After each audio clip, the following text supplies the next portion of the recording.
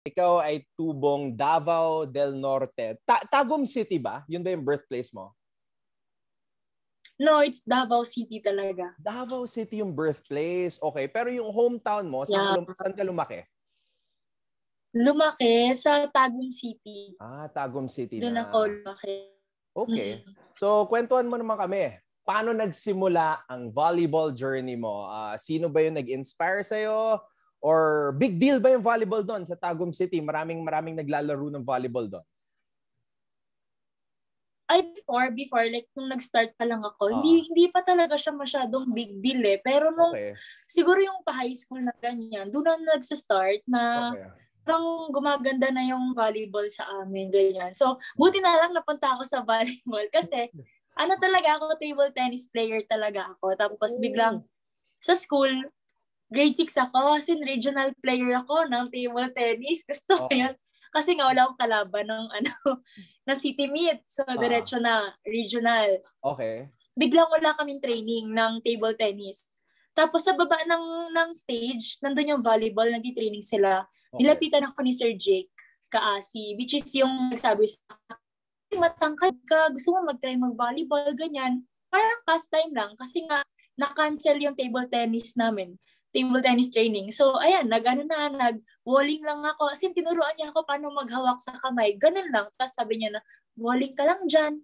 Tapos pagpagod ka na, pwede ka nang umuwi, ganyan. Tapos kinabukasan, wala ulit kami training. Nagpumunta ako sa volleyball training. Kaya parang unti-unti napapansin ko na, ay, bakit ano, bakit pag-volleyball? Sobrang, alam mo yun, everyday training nila, nandyan parati yung coach nila, ganyan. So parang dun ako na, dun ako na mas nag-enjoy ako doon kasi mas marami akong kasama. Hmm. Kaya doon nag-start, dahil lang wala akong training ng table tennis, napunta ako sa volleyball. Nakakagulat yun ha. Table Ayun. tennis eh.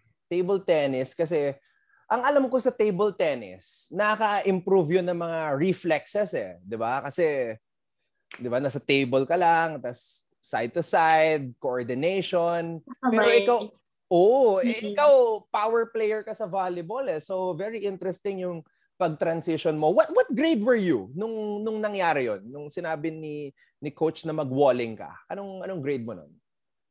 An- actually, ano yun eh, ah, grade 6 ako noon, kaso graduate na ako. So, papasok na ako ng first year noon, first year high school. Ah, okay. What, what Doon ako school again? nag-start talaga. What, what was your school again, May, sa high school? Tagum City National High School. Tagum City National High School. Okay. So, nag-start ka mag-volleyball, nagustuhan mo. Um, ano yung moment na nagpa-realize sa'yo na, okay, may mapupuntahan pala ako sa volleyball? Uh, what was your first big volleyball tournament?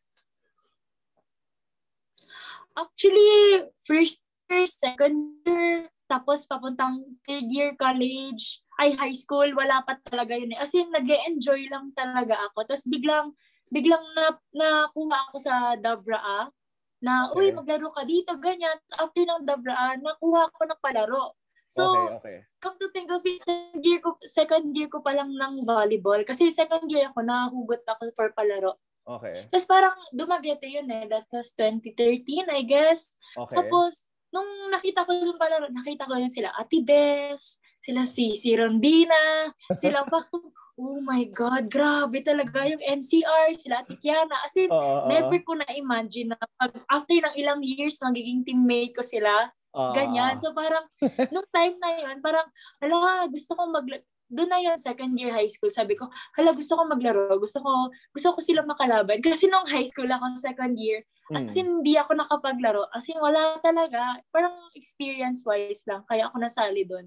Okay. Parang ganyan. So, after ng palaro na yun, parang doon na ako mas seryoso.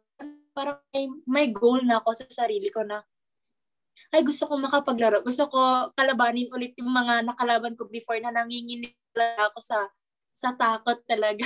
Mm. Kaya ayun, parang feeling ko doon nag-start talaga lahat. Grabe ah. na nag-enjoy ako at the same time meron akong goals. Ganyan. Grabe ah. That's, so that's where the fire started ah. Nung nakita mo sila Kiana, sila Des. Grabe. Okay, okay.